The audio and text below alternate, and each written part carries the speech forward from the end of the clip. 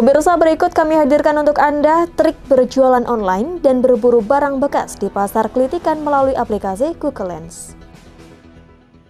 Perkembangan dunia digital, terutama media sosial, sangat bermanfaat bagi para pedagang, baik online maupun offline, dengan aplikasi Google Lens.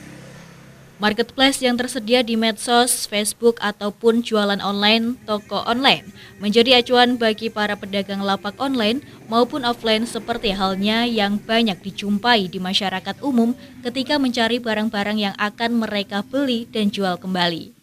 Bagi para pedagang online tentunya akan mempersiapkan materi jualannya dengan memasang foto atau video sebagai promosinya di media sosial.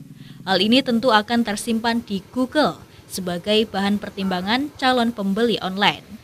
Namun perkembangannya semakin marak digunakan oleh pemburu barang loak atau bekas di pasar kelitikan melalui aplikasi Google Lens.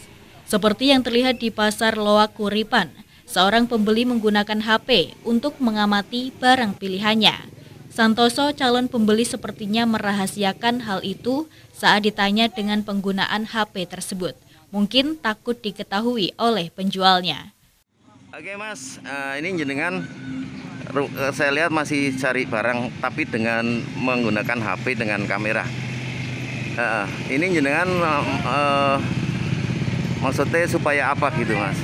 oh ya sekedar itu mas ya kalau cocok dibeli kalau enggak ya enggak mas ah dari tadi di kamera itu apakah bisa menunjukkan harga-harganya uh, ah enggak so. maksudnya ini kan sekedar apa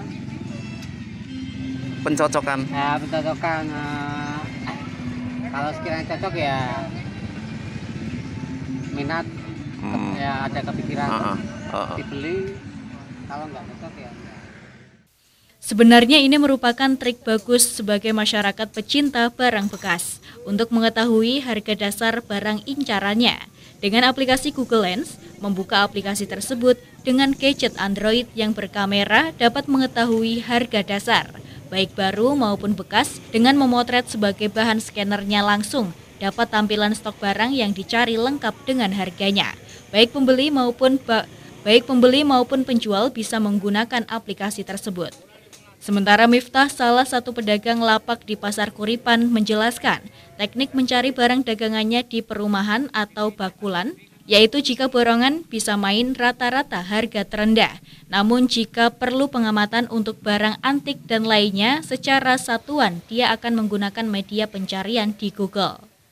Jadi belum tahu kalau di eh, apa namanya di perangkat e, dari Google tuh ada teknis yang untuk mencari harga e, seperti Google Lens gitu nggak pernah menggunakan jenengan? Enggak.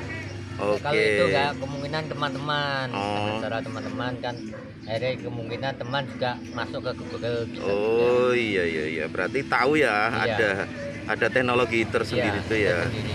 Nah, cuman jarang menggunakan karena sering beli borongan. Iya. Oke. Oke mas, harapannya mas dengan pasar seperti ini untuk nyenengan ke pemerintah harapannya apa mas? Kalau untuk pemerintah itu seperti saya ini kemungkinan mewakili pasar loak ya, pasar singgol.